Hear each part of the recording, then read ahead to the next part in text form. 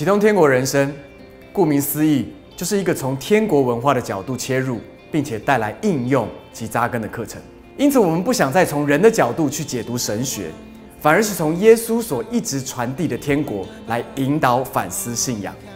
目的就是为了帮助个人的生命及地方教会的建造都能打下美好的根基。这这个课程呢，再一次呢，让我们回到呢基督教信仰的一个根基，能够让我们的弟兄姐妹、我们会友们呢，知道神呢在他们的生命的呼召还有命定。我们在这个课程里面呢，特别看到它的基础是爱跟尊荣，这个给我们弟兄姐妹很多的开启。而对于许多资深的基督徒来说，这个课程将会给你一个全新的高度及视野，来检视你的信仰。我发现，其实对于老基督徒，很多东西它其实是已经硬化了。我觉得这套课程可以让很多的老基督徒信心可以被活泼起来。它比较系统化，让我重新认识你如何用天国文化的角度去看服饰或是祷告，呃，神的话语这些东西。哦，原来可以跟我想的更加不同，而且那种不同是会让你很兴奋的。这是一个非常兴奋的课程。过去三年，在世界各地的培训课程当中，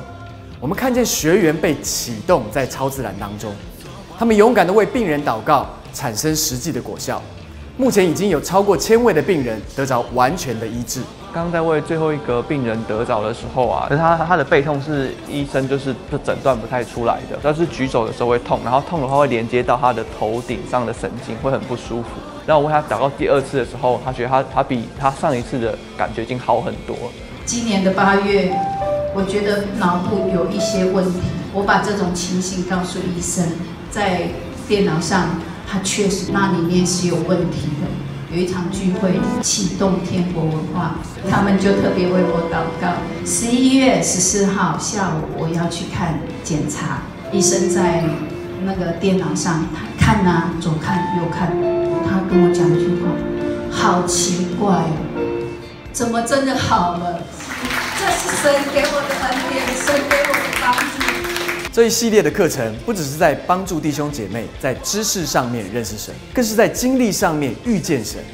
你将会发现心中无限的热情被眺望起来，